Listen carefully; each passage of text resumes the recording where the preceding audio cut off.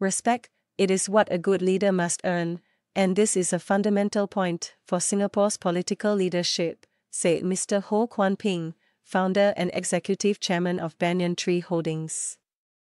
You get it in the beginning by appointment, as I got it, as a minister would get it. But whether you continue to command that respect, that's the question, said the 72 year old in a new book about him. Behind the banyan, Ho Kwon Ping on building a global brand.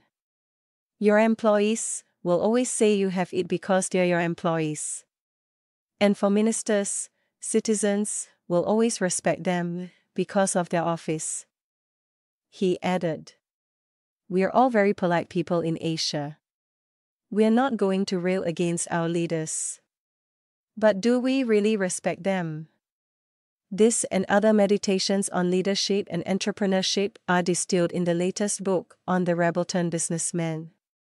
Written over three years, starting from the COVID 19 pandemic, by author Aaron Low, 44, a partner of content and communications agency, The Nut Graph. What I guess drives me is a sense that we're not on this earth to waste time. Or just sleepwalking through life, he said at the launch of the 288 page book at the Singapore Management University SMU on May 21, which coincided with the 47th wedding anniversary of Mr. Ho and his wife, Miss Claire Chiang. He famously turned down a $1.6 billion offer from an American private equity firm in 2006 to buy him out. He felt that it was more important to create something lasting and leave a positive impact on the community. For Banyan Tree, this includes striving for sustainability from its early days, even before the word became popular, and making a difference in the lives of the associates or employees. When you see that, in your own small way, you can make an impact on so many people's lives, I think that's hugely rewarding, he said, sharing how his former and existing employees have thanked him because they could now afford a motorbike or house. The book recounts how Mr. Ho steered Banyan Tree through many ups and downs, including during the pandemic when it had to operate with zero occupancy at many of its properties. It comes as Banyan Group, the luxury hospitality business that Mr. Ho founded with his wife, marks its 30th anniversary in 2024, with a workforce exceeding 10,000 people. It has about 85 hotels now and aims to open its 100th around 2025. While best known for his business chops, Mr. Ho has over the decades also become one of the Republic's public intellectuals. He founded and led SMU as chairman for 25 years and was the Institute of Policy Studies, first S. R. Nathan Fellow, for the study of Singapore.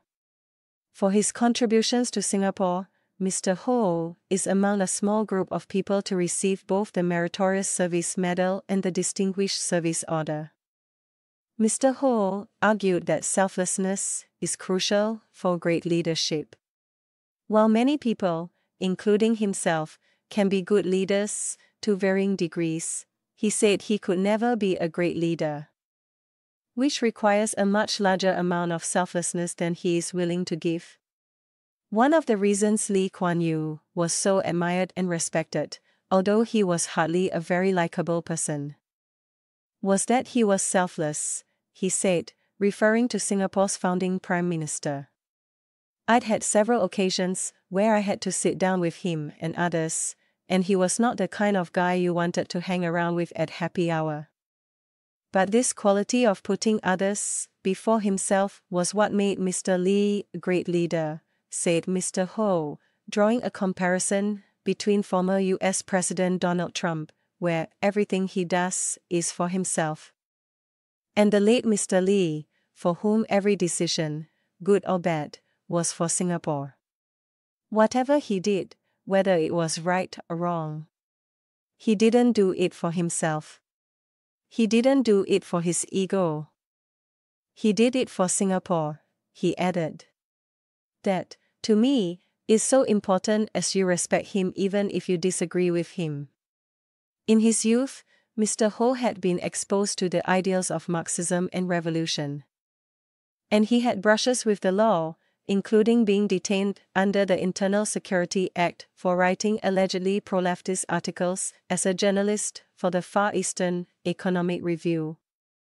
Calling himself a capitalist reformer, now, the multimillionaire entrepreneur admitted he has come a long way from his radical days of challenging authority and embracing leftism. When asked at a fireside chat what advice he would give to future generations like his great grandchildren, he warned about the danger of complacency, hubris, and entitlement. Given Singapore's current success, I think it's entirely possible that we'll become a relatively successful, mediocre city state. Mediocrity that arises precisely because we think we are exceptional and don't need to be different. He said. That's the biggest threat. He hopes his book will inspire more stories of local entrepreneurs to come. We need more books that are accessible to young startups, business owners, and so on, where they don't just hear about how Steve Jobs and Bill Gates and Jeff Bezos made it in the world, he said. The most serious intent of this book is that it can inspire other people to carry on with our own Singapore heritage of talking about entrepreneurship and the lessons from it.